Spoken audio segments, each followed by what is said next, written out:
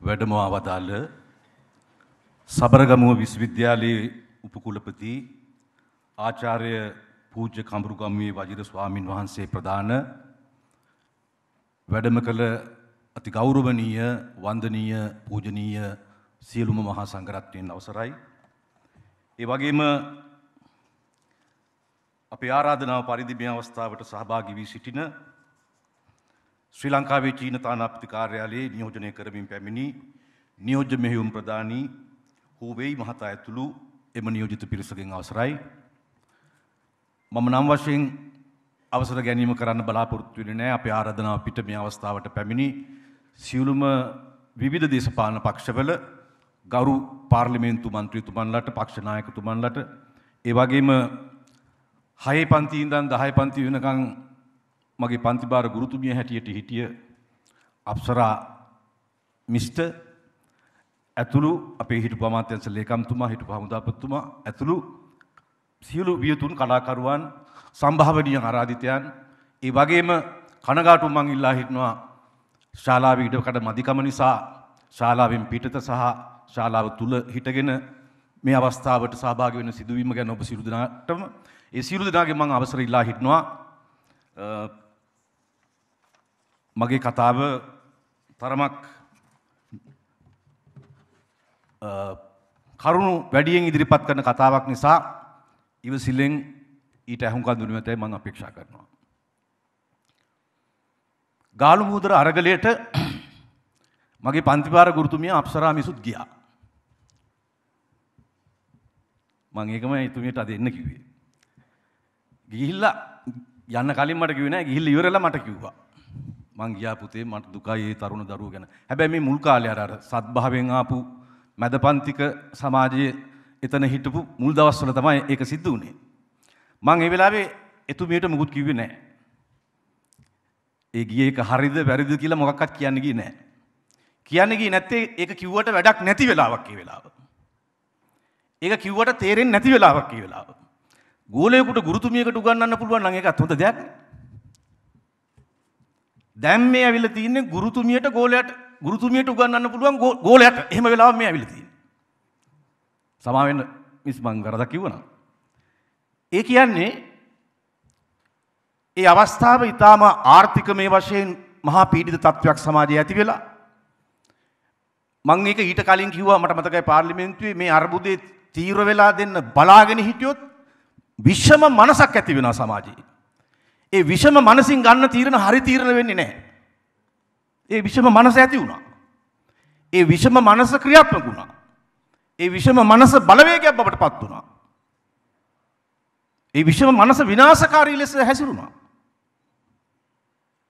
නමුත් වසරක් ගත වෙලා දැන් අපිට අවස්ථාව තිබෙනවා එළඹ සිටි සිහියෙන් සිහිබුද්ධියෙන් ඒකේ ප්‍රේක්ෂක ඒකේ චරිත බවට පත් නොවී ඒක දිහා ආපහු හැරලා බලන්න.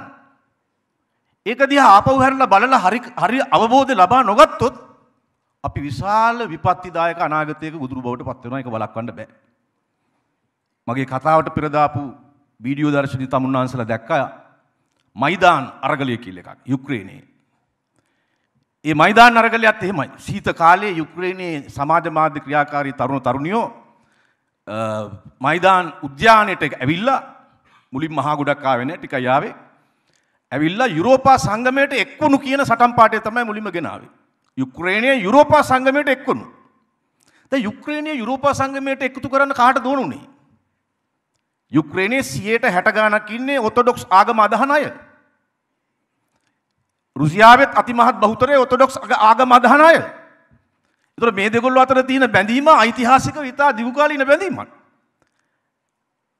වික්ටෝරියා නූලන් මැතිනිය පහුකාලීනව කියනවා එක්දස් නම්සි අනු එකේ සිට ඒ ඔයි කියන මයිදාන අරගලය දක්වා වූ කාලය තුළ ඩොල බිලියන් පහක් අපි වැය කලා මොකොටද යුක්්‍රේණයේ ප්‍රජාතන්ත්‍රවාදය බලගැන්වීම සඳහා. මොකද ප්‍රජාතන්ත්‍රවාදය බලගන්නන ගැන. යුක්්‍රේණයයි රුසියාවයි අතර කොටවලා යුක්්‍රේණය රුසියාවට විරුද්ධ තත්වයකට පත් කර ගැනීම සඳහා. එක ප්‍රජාතන්ත්‍රවාදය බලගන්නන කියන්න. ඒකෙදී ඇය සමත් වුණා. පසුකාලීන දුරකථන සාකච්ඡාවක් වික්ටෝරියා නූලන් මැතිනියයි ඇමරිකාවේ හිටපු ඇමරිකානු තානාපති අතර ගිය දුරකථන සාකච්ඡාවක් එළියට ආවා.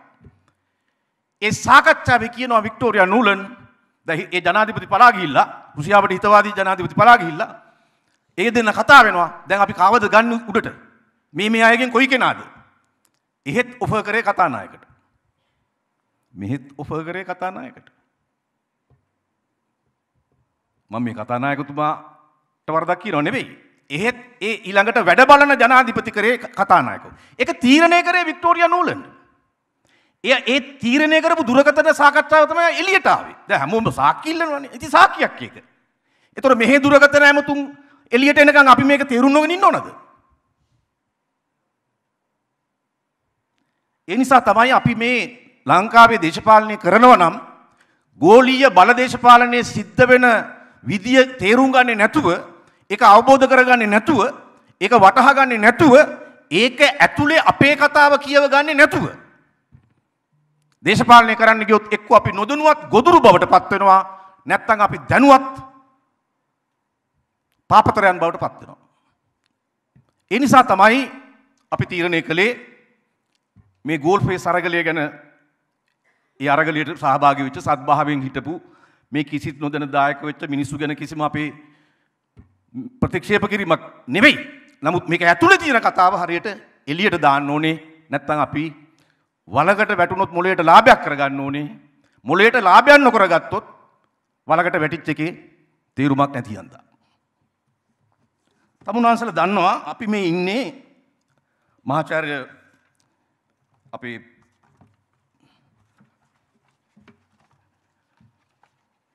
පියුඩ වීරසිංහ මැතිතුමන් බොහොම පැහැදිලිව පෙන්වා දුන්න ලෝකයේ අද පවතින යථාර්ථය. ඒකටම අපි දැන් අපේ රටේ ගොඩක් දේශපාලනය කරන අය හිතන් ඉන්නවා මේ අපි ගෙවන්නේ මොන වගේ යුගයකද ලෝකේ මොන වගේ අවස්ථාවකද අපි මේ දේශපාලනය කරන්න කියන එක පැහැදිලි නෑ. ඒක පොඩ්ඩක් ලියාගත්තොත් තමයි අපිට මේ පොතේ තියෙන කතන්දරේ ඇත්තක්ද මොකක්ද කියන එක හරියට තේරුම් ගන්න පුළුවන් වෙන්නේ. අපි මේ පහු කරමින් ඉන්නේ ඒක ද්‍රවීය ඒ කියන්නේ ඇමරිකා එක්සත් ජනපදය ඇතුළු බටහිර අතේ තියෙන කේන්ද්‍රීය බලය සහිත ලෝකය සෝවියට් සංගමයේ බිඳ වැටීමෙන් පස්සේ ගොඩනගපු ලෝකය ඔබ දන්නවා සෝවියට් සංගමයේ බිඳ වැටීමෙන් පස්සේ තමයි ඔය වර්ණ අරගලාවේ එක එක වර්ණ විප්ලවාවේ ඊට පස්සේ අරාබිකරය ආවා තවත් රටවල ආවා ඒ වර්ණ විප්ලව වලින් ඒගොල්ලන්ට නටවන්න පුළුවන් පාලන තන්ත්‍ර අටව ගත්තා. සමහර රට ජාතික රාජ්‍ය නැත්තටම නැති කළා. එතකොට ඒ ඒකට රැබිය ලෝකයේ තුල ගෙවිච්ච අවුරුදු කිහිපය ඇතුළත යුද්ධ 100කට වඩා කරා. ලෝකේ රටවල් ඇතුලේ. යුද්ධ අවුලුවනවා. ඒබැ චරිත බවට පත් වෙනවා මිනිස්සු දැන හෝ නොදැන.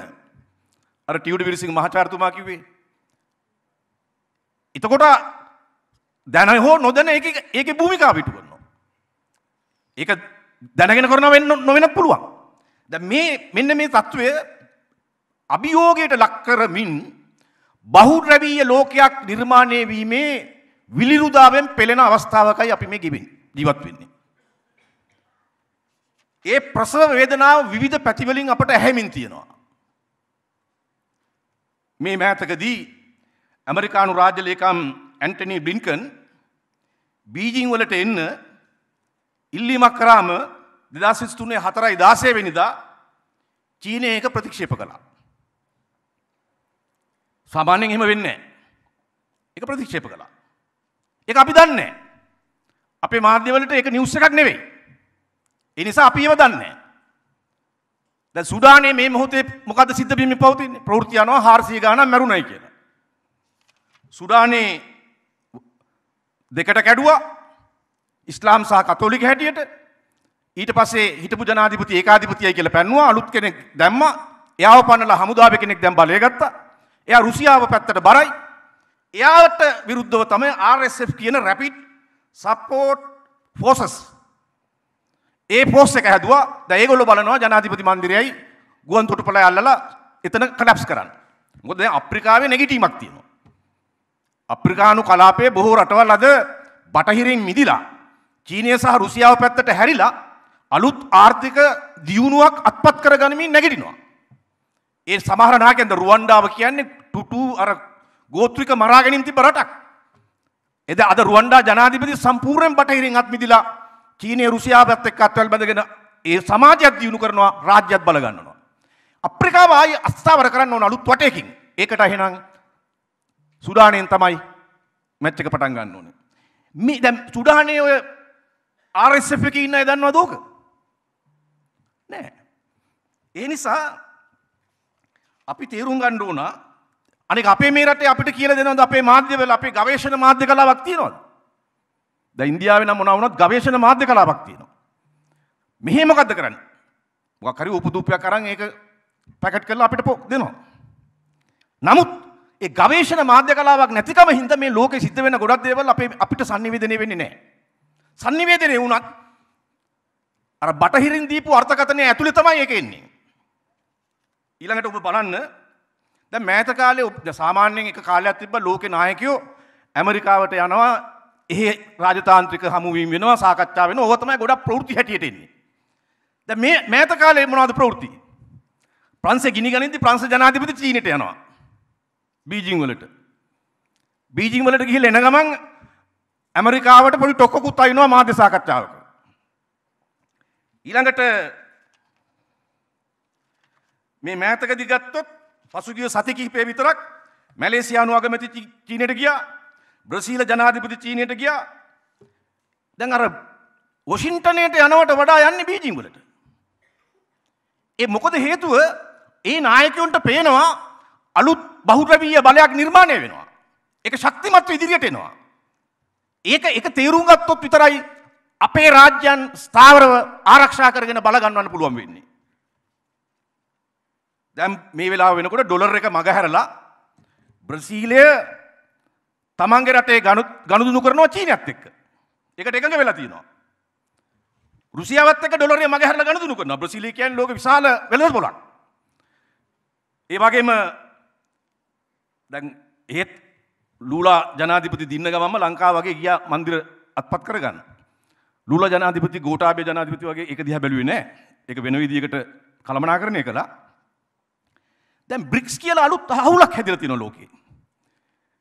බ්‍රසීලය, රුසියාව, ඉන්දියාව, චීනය, දකුණු අප්‍රිකාව. ඒ බ්‍රික්ස් හවුලෙන් අලුත් මුදල් ඒකකයක්, ගනුදෙනු සඳහා අලුත් මුදල් ඒකකයක් නිර්මාණය කරමින් ඉන්නවා. දැන් මැලේසියාවත් චීනය සමග ගනුදෙනු කරන්නේ තමන්ගේ මුදල් ඒකක වලින්. මැලේසියානු අගමැති චීන ජනාධිපති හම්බුනාම යෝජනා කරනවා ආසියානු මුල්්‍ය අරමුදලක් හදන්න. චීන ජනාධිපතියකට සහයෝග එකඟ වෙනවා. ආසියානු මුල්්‍ය අරමුදලක් හදන්න. මේ අලුතෙන් ඇතිවෙන අලුත් වර්ධනයන්. මේ ගතිකත්වයන් තේරුම් නොගෙන අවබෝධ කර නොගෙන පරණ වලව්වේ ඒ හොල්ම මන්දිරය දිහා බලාගෙන ඒ පැත්තට මල් පහම් පුද පූජා කර කර හතරගාතයෙන් වැටිගෙන මොකද එතන එතනට මල් පහම් පිදුවයි කියලා නැගිටින්න දෙන්නෙත් නෑ. දැන් මම මේ පුතේ කියනවා ගෝඨාභය රාජපක්ෂ ජනාධිපති හිටපු ජනාධිපතිවරයා ඔහු ඉල්ලාස් වෙන තීරණය කරපු අවස්ථාවේදී පලා යමින් සිටි අවස්ථාවේදී ඉන්දියාවත් ඇමරිකාවත් ඔහුට ඔහුගෙන් ඉල්ලා හින්නවා ඔයා ඉල්ලාස් වෙන්න කලින් අගමැති රනිල්වත් අයින් කරලා ඔයා ඉල්ලාස් වෙන්න. මොන හේතුවක් මත හෝ ගෝඨාභය රාජපක්ෂ මොකද මාලදීවනට ගියා ලියුම් දෙකම ගාමිණී සෙන්ටරත් ලියුම් දෙකම හදලා මාලදිනට යව්වා. රනිල් වික්‍රමසිංහව අගමැතිකමෙන් අයින් කරන ලියුමයි ගෝඨාභය රාජපක්ෂ ඉල්ලාස්වන ලියුමයි. නමුත් ගෝඨාභය රාජපක්ෂ ජනාධිපතිවරයා අත්සන් කළේ ඒක ලියුමට ඒ එයාගේ ඉල්ලාසන ලියුමට පමණයි.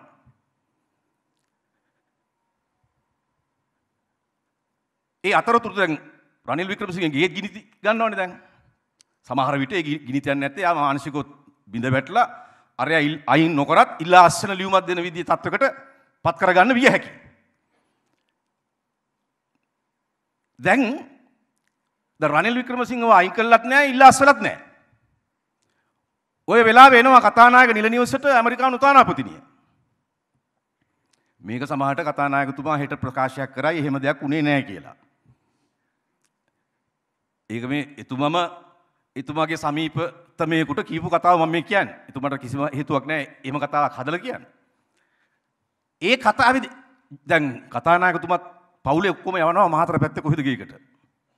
යවලා එතුමත් තරමක් තිගැස්මේ මොකද අර පාර්ලිමේන්තුව වට කරලා හිටපු වෙලාව. තිගැස්මෙන් ඉන්නවා. ඉන්නකොට සේවකෙක් ඇවිල්ල කියනවා මේ ඇමරිකානු තානාපත්තුමිය ඇවිල්ල ඔපතුම හම්බෙන් ඕනේ කියනවා. තිය ගමන කලබලින් පහළ මාලට එනවා. ඇවිල්ල තු ඇත්තක කතා කරනකොට තුමිය කෙනවා දැන් ගෝටාබය අයින් වෙනවා වා මේක බාරගන්න. එතකොට කතානායකතුමා කියනවා එහෙම කොමොද කරන්නේ මේ තානාපත්තුමියනි? ව්‍යවස්ථාවනුව ජනාධිපති ඉවත් වුණොත් ඊළඟට වැඩබලන ජනාධිපති වෙන්නේ අගබැතිවරයා. ඉතින් මම කොහොමද? මං කතානායක යා ඉඳදී මට බෑ කියලා. ව්‍යවස්ථාව වැඩක් නෑ. අපි එක බලාගන්නම්. ඔයා මේක ගණ්ඩ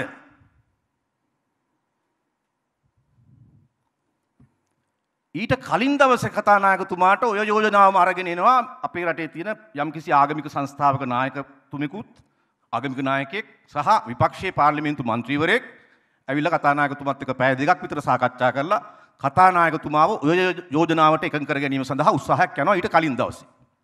හෝ ඊට පෙර කොහොමරි මේ ඇමරිකානු තානාපතිතුමිය එන්න පෙර. ඒකෙදිත් කතානායකතුමා දැරුවේ අරස්ථාවරේ. එතකොට ඒක ඒ අයට බැරි වුණා කතානායකතුමාගේ ඔළුව හරි ඒ වැඩේට එකඟ කරගන්න. බැරි නිසා තමයි අර එක පාට කොහොම හරි මේ කියන්නෙත් නැතුව ඉන්නවද නැද්ද අහන්නෙත් නැතුව එක පාට ඇවිල්ලා කිව්වේ. මොකද යුක්‍රේනයේ රෙජීම් චේන්ජ් එක කරාම කතානායක තමයි වැඩබලන ජනාධිපති කරේ.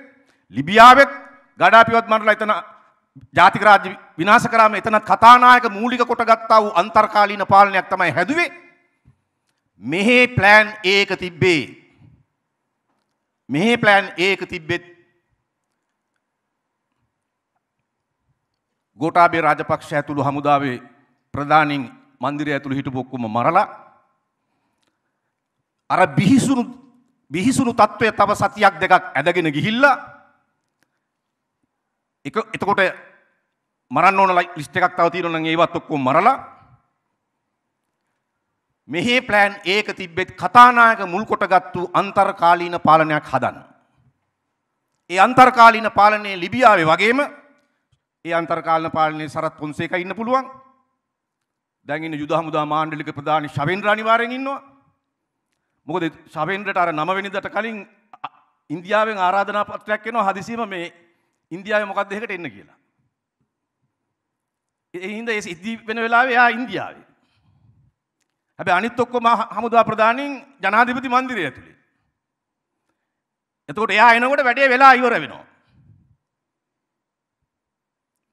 ශවෙන්ද්‍රත් එක්ක මට කිසිම පුද්ගලිකාරෝ වන්නේ නැහැ. මේ මනුස්සයාට ජිනීවා වලුත් සෑහෙන චෝදනා මාලාවක් එල්ල කරලා තියෙනවා. ඒ චෝදනා මාලා එල්ල කරන්නේම මේ විදියට හසුරුව ගන්න. මොකද මේ හැමෝගෙම තියෙන බොටම් ලයින් එක තමයි කොහොම හරි ඇමරිකාව ෂේප් කරගන්න ඕනේ කියන එක. ගෝඨාභය රාජපක්ෂවත් හැසිරෙන්නේ ජූලියා චාන්. ගෝඨාභය රාජපක්ෂගේ හිත ඇතුලේ තිබිච්ච ප්‍රධාන ඌමනාව තමයි විශ්‍රාම ගියාට පස්සේ ඇමරිකාවේ ගිහිල්ලා සුවෙන් ජීවත් වෙන්න. ඒක ඒක ඒක නිසා අනිවාර්යෙන් එතුමිය කියන විදියට ඉන්න ඕන. දැන් එකපාරක් ඔබට මතක ඇති ගාලු මූදුර කිට්ටුවට හමුදා ට්‍රක් රථ පෙළක් ගෙනල්ලා තිබ්බා. පෙළ ගස්සලා තිබ්බා. ඒ වෙලාවේ ඔය ඇමරිකානු තානාපතිනේ ඒක ඇමති කෙනෙකුටයි ගෝඨාභය රාජපක්ෂ ජනාධිපතිටයි කතා කරලා කියනවා ඒක කරන්න එපා. ඔය ගෝඨාගූගමේ කට්ටිය අරන් යන්නද හදන්නේ. ඒක කරන්න එපා. එහෙමුණොත් IMF ප්‍රෝග්‍රෑම් එක නතර වෙයි. අර ට්‍රක් රථ ටික ආයි ගියා. ඒ කියන්නේ ගෝඨාභයවත් පාලනය කළා අරගලයක් පාලනය කර අරගලය පාලනය කළේ කොහොමද කියන එක මේ පොතේ කරුණු සහිතව තියෙනවා. මේක තියෙනවා ඇමරිකානු ආයතන ෆන් කරපු හැටි අහවල් පුද්ගලයට කියලා නෑ මේක තියෙන මෙහෙමනේ නීතිඥ වෘත්තිය බලගැන්වීම සඳහා මෙච්චර මුදලක් අහවල් එකට.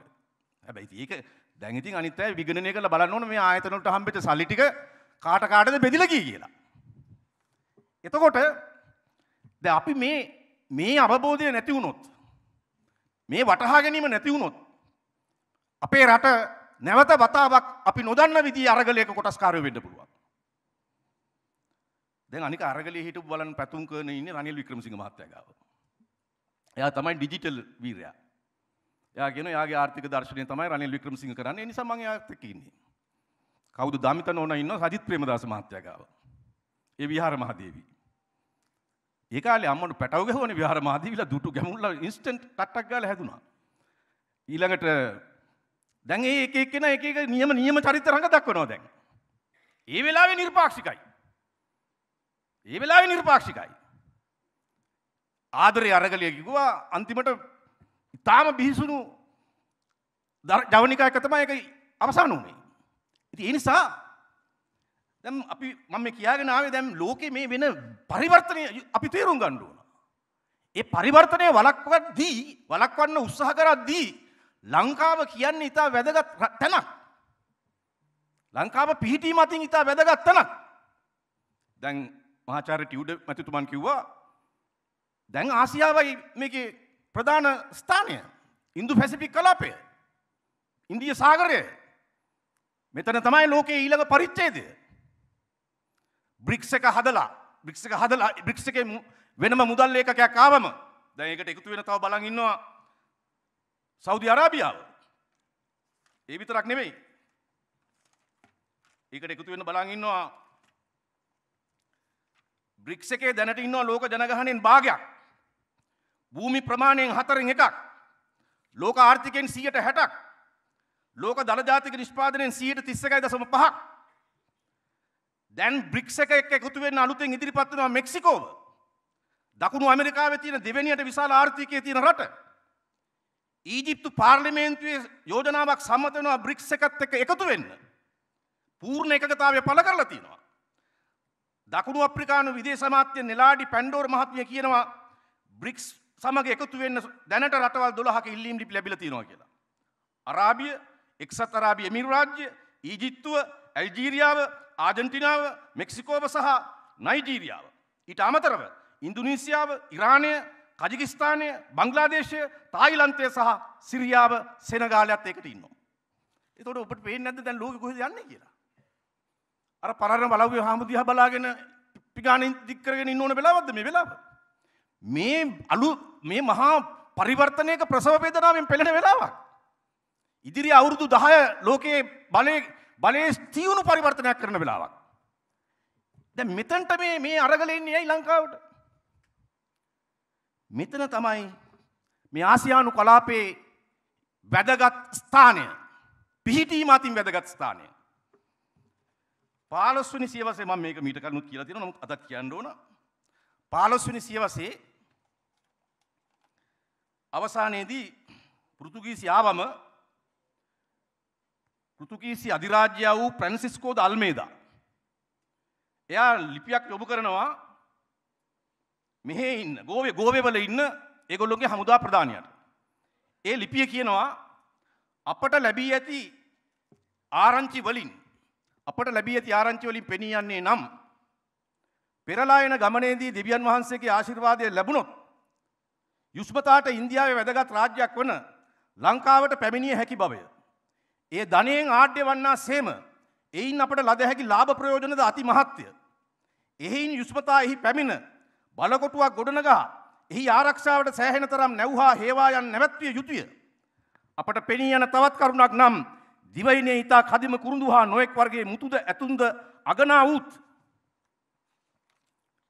ලාභගත හැකිවූත් වෙනත් වෙළඳ බහන්ඩයන්ද ලැබෙන හෙයින් හා එය බෙංගාලේ වරායට හා මලක්කාවටද කයාල් නම් ස්ථානයටද ඉතා ආසන්නෝ පිහිටා තිබෙන හෙයින්ද මලක්කා සමුද්‍ර සන්දිය හා බෙංගාල වරාය හා යනෙන නෞකා මාර්ග නෞකා මාර්ගයේ පිහිටා තිබෙන නිසා කිසිම නැවකටය නොදැන හෝ ඊට නොදනුවත්ව යා නොහැකි හෙයින් හා දූපත් දොළොස්දාහක් දාහේ මුහුදට ඉතා ආසන්න හෙයින්ද එහි ගොඩනගන බලකොටුව ඉන්දියාවට ඉතා ආසන්න හින්ද. යුස්මතාපේ නියෝගේ පරදි බලකොටුවක් තැනීමට සියලු පරිශ්‍රම දැරිය යුතු බවය. එපමණක් නොව යුස්මතාගේ ප්‍රධාන වාසස්ථානයේ ඒවී යුතු බවද අපට පෙනේ. ඒ කරකොට ඒ කරන කොටගෙන යුස්මතා සියලු දෙහි මධ්‍යස්ථානය වන්නක් මෙන්ම එයින් අපගේ මෙහෙයත් පෞද්ගලික වශයෙන් යුස්මතාත් දැනට වඩා ආනුභාව සම්පන්න වේ.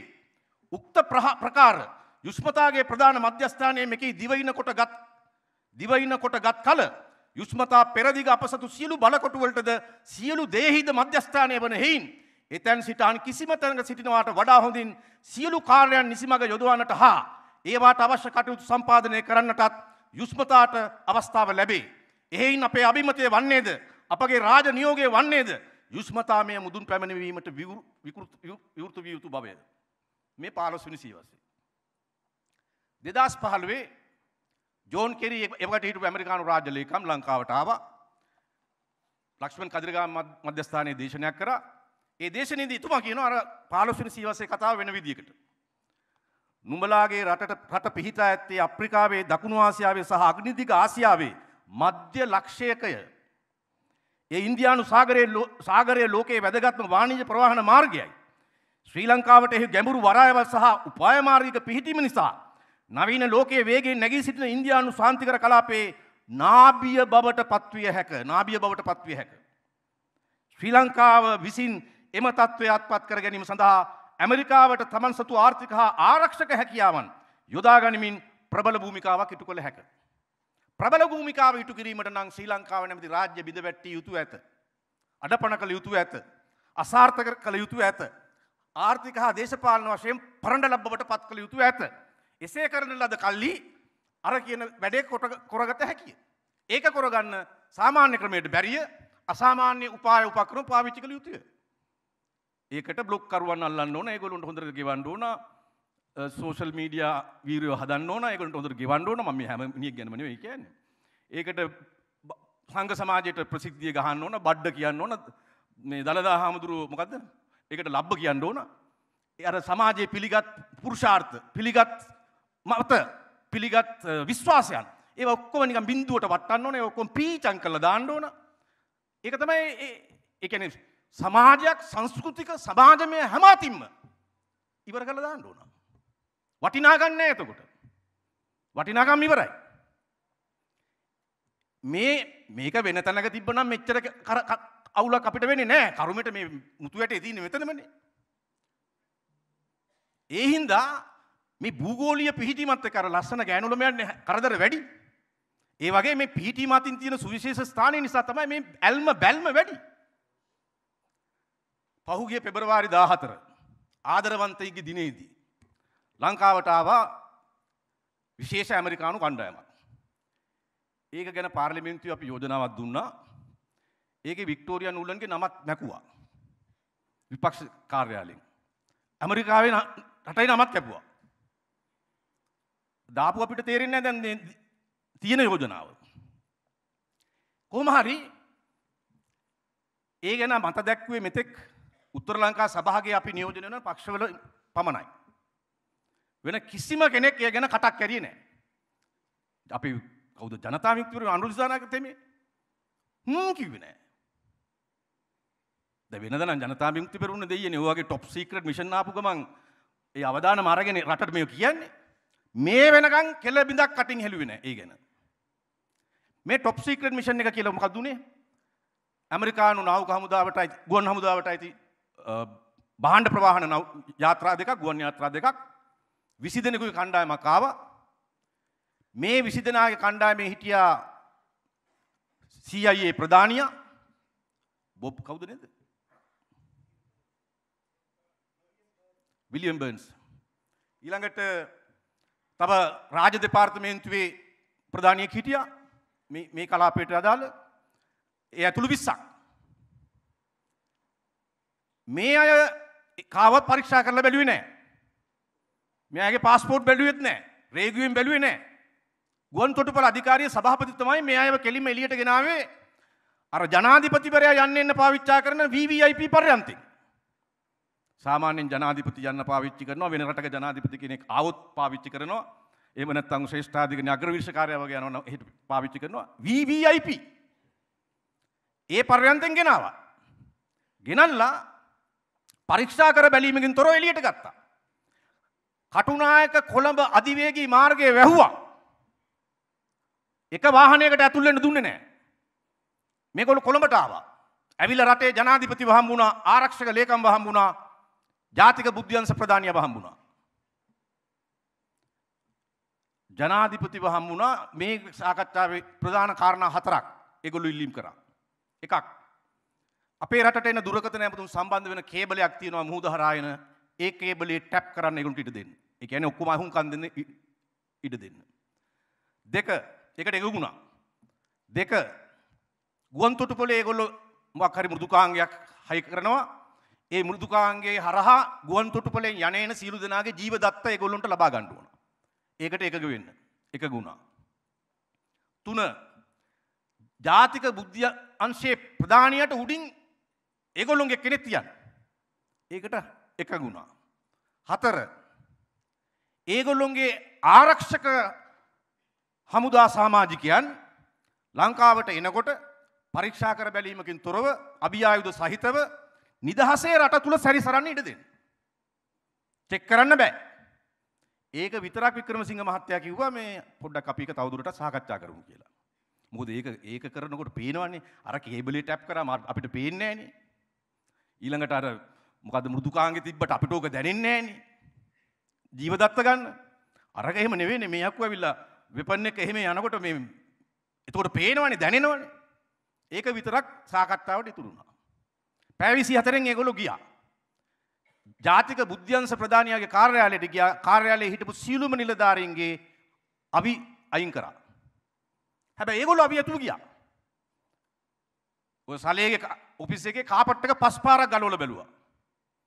ඒ ඒවා ඉතින් අර මානසික බැරියර් හදන්න කරන ඒවා. දැන් මේ මේ টොප් සීක්‍රට් මිෂන් එක කොහොමද මොකටද දෙන්නේ?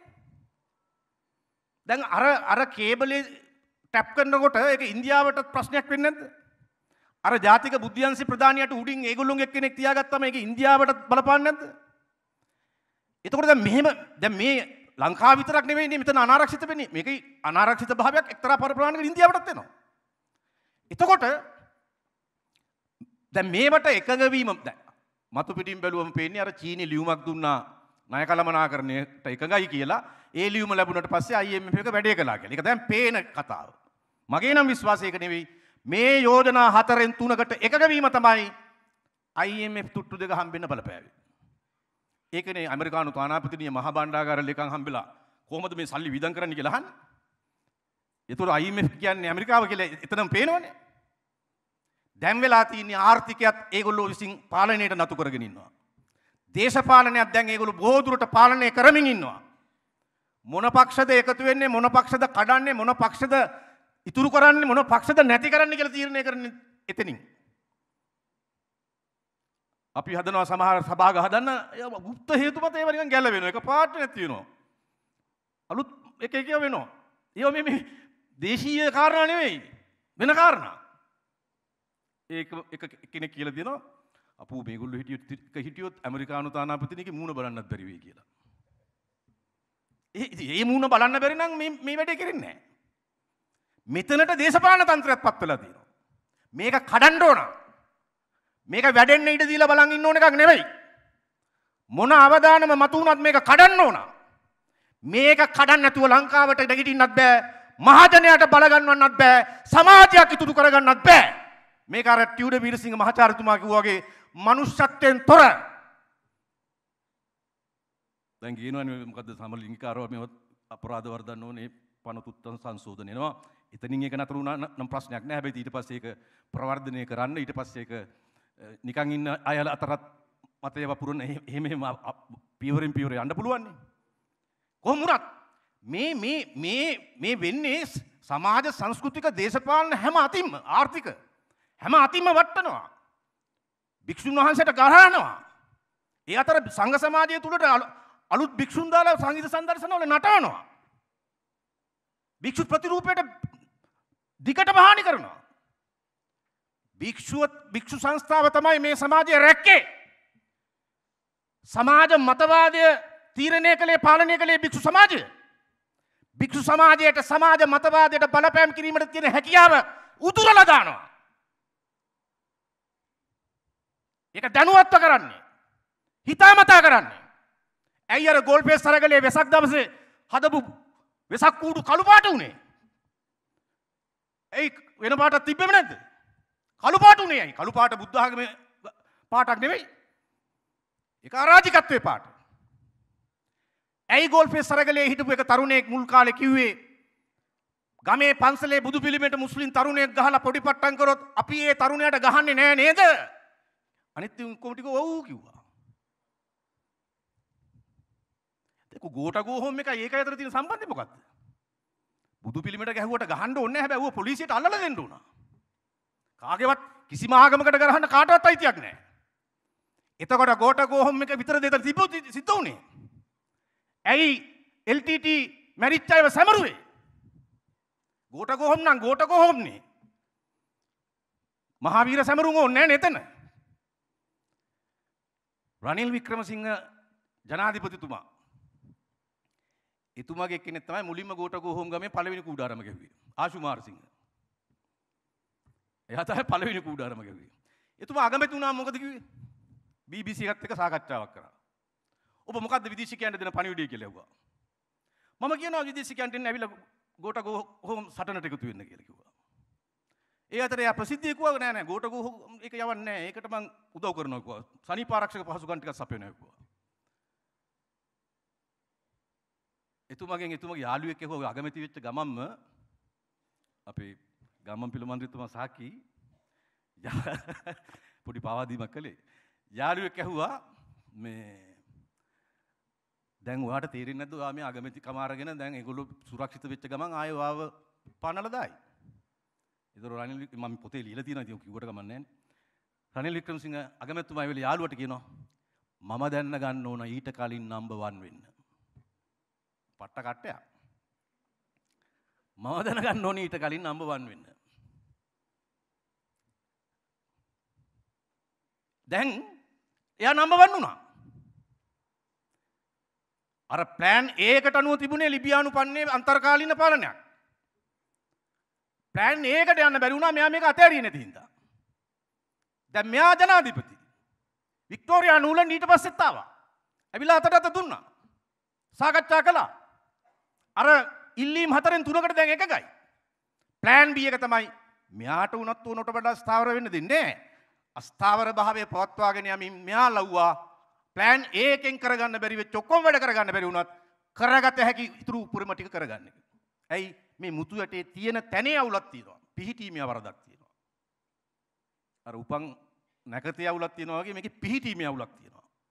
මෙතන ඒගොල්ලන්ට අත්‍යවශ්‍ය වන තිප්පොලක් දඩබිමක් ඒ නිසා ඔය නිකම් මේ අර අර වෙන වෙන මාතෘකා කතා කර කර මේ මාතෘකාවට පයවත් යන්නතුව අත්තවත් යන්නතුව වෙන වෙන වීර කාව්‍ය කිය කී කරන දේශපාලකයෝ දැන හෝ නොදැන වක්‍රව හෝ ඍජුව සම්මාදම් වෙන්නේ මේ බල ව්‍යාපෘතිය දිගේලි වෙන්න ඉඩ හරින එක. ඒක කරන්න ඉඩ දිය යුතු නෑ. මේ රටට ආදරේ නම් මේ රටේ නිදහස් අධ්‍යාපනයෙන් අපි හැදුනවා වැඩුණා නම් මේ භූමියේ ගහකොළ ස්වභාව ධර්මය දීපු සම්ප සම්පත් අපි භාවිතා කරානම්. අපි තුළ තිබෙන කිසියම් ශක්තියක් තියෙනවන ඒ සියල්ලටම ණය ගැතිනම්. අපට වගකීමක් තියෙනවා මොන අවදානම ආවත් මෙන්න මේ පරාධීනත්වයේ පරාධීනත්වයේ වටලෑම. එක අනාවරණය කරන්න හෙළි කරන්න ඊට එරෙහි මහජන කතිකාවත බලගන්නන් විතරක් නෙවෙයි ඊට නායකත්වය දෙන්න අපිට අනිවාර්ය අත්හල නොහැකි වගකීමක් තියෙනවා මේ කෘතිය ජනගත කිරීම මගින් අපි ආරම්භ ආරම්භක වශයෙන් පියවර තබන්නේ අන්නේ වගකීම බලගැන්වීමේ දිසාවට කියන එක මම ඔබට අවධාරණය කරනවා. මං ඊයේ ගියා රූපවාහිනී සාකච්ඡාවකට එක්තරා නාලිකාවක එතුමාගෙන් අහන සාක්ෂි තියෙනවා සාක්ෂි. සාක්ෂි හරියට එන්න තව අවුරුදු 20ක් විතර බලන් ඉන්න ඕන. සාමාන්‍යයෙන් CIA එක ඒගොල්ලොන්ගේ ලේඛන අවුරුදු 20කට පස්සේ නම් මකලා එළියට දානවා. එහෙම නැත්නම් අර වික්ටෝරියානු උළුඳුවේ එහෙ තානාපති කතා කරපු හඬපටේ වගේ එකක් දුරකථන සාකච්ඡාවේ පටිය වගේ එකක් එළියට එන්න ඕන. හැම දෙයකටම මේ නිසා සාක්ෂි වෙන්න බෑ. හැබැයි අපි දෙන්න පුළුවන් බොහෝ සාක්ෂි මේකේ දීලා තියෙනවා. ඉතුරු ටික අනාවරණය කරගන්න එක සෙසු වගකිව යුතු රටවැසියන්ගේ වගකීමක්. එහි කොටසක් ඇත ඔබටත්. දැන් අර රඹුක්කනදී පොලිසිය වෙඩි තියලා මැරිච්ච මනුස්සයාගේ නෝනද කොහෙද? මම දැක රූපවාහිනිය කියනවා මුල් දවස්වල නම් 100 ගාණක් නීතිඥයෝ ආවා. දැන් සමහර දවස්වලට එක නීතිඥයෙක්වත් නැහැ කියලා. දැන් යන්න බෑ. දැන් ගෙවන්නේ නැහැ. මැච් එක ඉවරයි. ගිවන කාලෙට එනවා බුදුන් අප්පුඩිත් ගහනවා. ඒ නිසා අපි තේරුම් ගන්න ඕන. නැත්තම් ගොදුරු වෙනවා. ගෝඨාභය රාජපක්ෂත් මේකේ ගොදුරක්. ගෝටාබේ රාජපක්ෂට මානසික බැරිියර දෙම තානාපතිතුමිය ඇමරිකාන. ඉන්දියාවෙන් ගුවන් යානාවක් එවන්න පොරොන්දු වෙලා හිටිය යුවේ නෑ හේතුව මොකද්ද? අර දෙවෙනි ඉල්ලීම ඊටුන කරපු එක. රනිල්වත් අයින් කරලා ඔය අයින් වෙන්න කීපු එක. ඒ දෙවෙනි ඉල්ලීම දුන්නේ නැති හින්දා ඒක එව්වේ නෑ. ඒ නිසා මේව දැනගන්න ඕන මේ සමාජය. සමාජයේ දේශපාලන සාක්ෂරතාවෙන් ඉහළ මට්ටමකට ආවොත් විතරයි සමාජයක් ආරක්ෂා කරගන්න පුළුවන් රැකගන්න පුළුවන් පවත්වාගෙන යන්න පුළුවන්. දේශපාලන සාක්ෂරතාවෙන් බින්දුව නං දේශපාලන සාක්ෂරතාවෙන් අපි මොටනං විවිධ කුණාටුවලට විවිධ රැලිවල ගොදුරු බවට පත්වන කැරෙන්න සමාජයට වෙන ඉඩක් ඉතුරු වෙන නෑ. මෙන්න මේ දේශපාලන සාක්ෂරතාවය බලගැන්වීම සඳහායි අපි මේ කෘතිය ජනගත කරන්නේ. හෙට සිට වඩා වැඩියෙන් සමාජ මාධ්‍යවල අපට ගරහණයක වැඩිවේවි. හෙට සිට වඩා වැඩියෙන් අරමුණත් දානය අර එක එක ලාංචන හිනා වෙන ලාංචන යෝදානය වැඩිවෙයි. හෙට සිට අපි ඉලාක කොටගෙන එල්ල කරන්න ප්‍රහාරය වැඩිවෙයි ඒ කිසිවක් කිසිවිටක ප්‍රශ්නයක් කර නොගෙන අපි අපේ ඇත්ත අවංක දේශපාන භාවිතා පිටු කරන්නේ. ඒ ඒ ක්‍රියාන්විතය සමඟ ඔබේ දායකත්වය ඔබේ හැකියාව ඔබේ ශක්තිය එකට ඒකා බද්ධ කරන්න කියයා ඉල්ලමින් අද මේ අප ආරාධනාව පරිදි මේ අවස්ථාවට පැමිණි සියලුම ගරු පාර්ලිමේන්තු මන්ත්‍රියතුමන්ලට ඒවගේ අපේ කලාකරුවන් විද්දුතුන් සියලුම දෙනාට මගේ කෘතවේදිත්‍ය ගෞරුණය ස්වාමින් වහන්සේ ඇතුළු ඒ හැම කෙනෙකුටම මගේ කෘතවේදිත්වය ගෞරවය හා ප්‍රනාමය පුද කරමින් මාතෘභූමියට ජයවේවා ඔබ සැමට ජයන් ජයම වේවායිකයා ප්‍රාථනා කරමින් මගේ වචන ස්වල්ප අවසන් කරනවා සිවුදු නාටම ජයවේවා.